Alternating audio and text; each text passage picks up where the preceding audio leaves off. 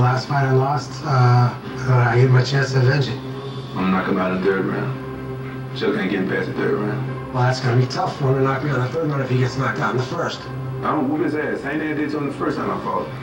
I'm gonna whoop his ass.